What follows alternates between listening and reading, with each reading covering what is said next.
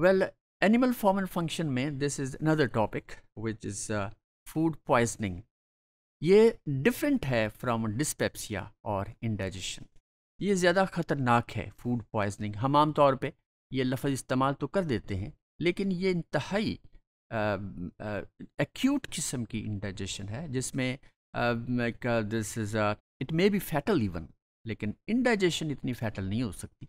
लेकिन ये food poisoning it may be fatal this is the illness from indigestion of food containing toxic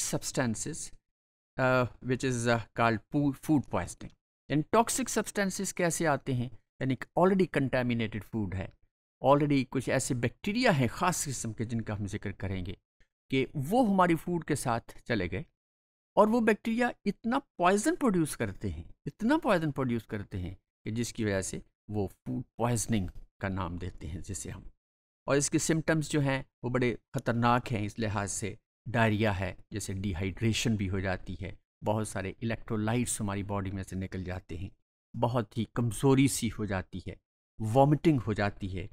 फिर abdominal pain है, बहुत acute abdominal pain हो सकती है। फिर this is this is it occurs between 12 two 24 hours after eating contaminated food अगर हम stele food खा लेंगे, अगर हम स्टेल फ़ूड खा लें, और ये समझते हुए ये ठीक है, ये हमने कल ही तो रखी थी, इस तरह। तो ये इस इसको खाने से अगर उसके अंदर वो ख़ास किस्म के बैक्टीरिया हैं तो वो फ़ूड पॉइजनिंग शुरू हो सकती है। नाउ इसके कॉजेज क्या हैं? जैसे eating improperly cooked specially meat और एग्स क्योंकि जो है ना, मीट की कुकिंग, ये बहुत इंपॉर्टेंट है, बहुत ही इंपॉर्टेंट है। और अभी हम बात करते हैं इसकी कि drinking unpasteurised milk contaminated with salmonella and campylobacter bacteria ये वो बैक्टीरिया हैं इनफैक्ट जो कि बैक्टीरिया जो कि फ़ूड पॉइजनिंग काज करते हैं।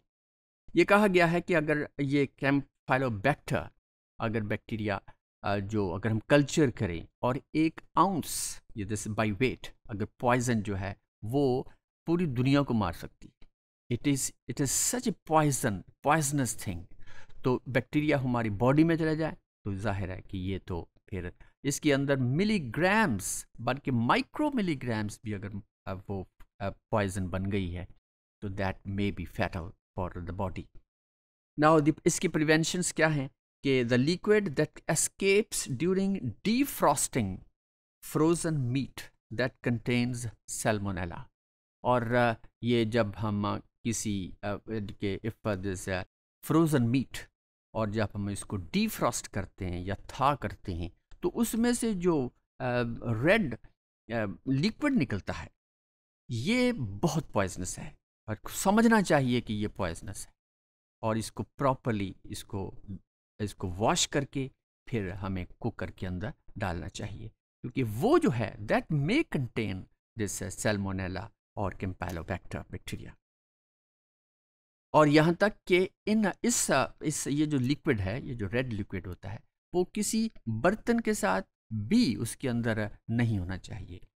और इस लिहाज से ये चीज़ जो है, ये थॉ करना और उसको डीफ्रॉस्ट करना, ये एक बड़े बड़े कंसंट्रेट करके ये काम करना चाहिए। ख़ास तौर पे जो जो काम करते हैं किचन के अंदर हाउस वाइफ्स या दूसरे जो इसमें दैट इज़ दोज बल्कि कोई भी कर सकता है, कोई भी कर सकता है। तो ही और she should be very careful while while thawing this meat Now the dishes and the utensils that uh, which are uh, while using must be must not be allowed to come in contact with any other food meat. तो ये किसी दूसरे के साथ mix नहीं करना चाहिए और इसको प्रॉपर वॉशिंग जो है वही इसका इलाज है तो this is all about the food poisoning